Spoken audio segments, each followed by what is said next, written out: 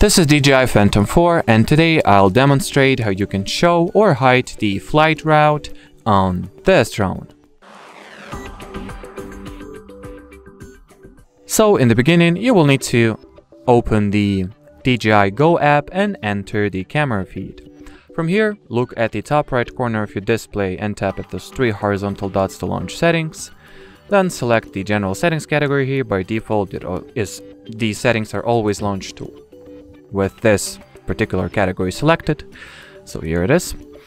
And now uh, scroll down a little bit and look for the show flight route toggle which you can switch off to hide it or switch on to well show it respectively. And well as far as this video goes that'll be it. So thanks for watching and bye bye.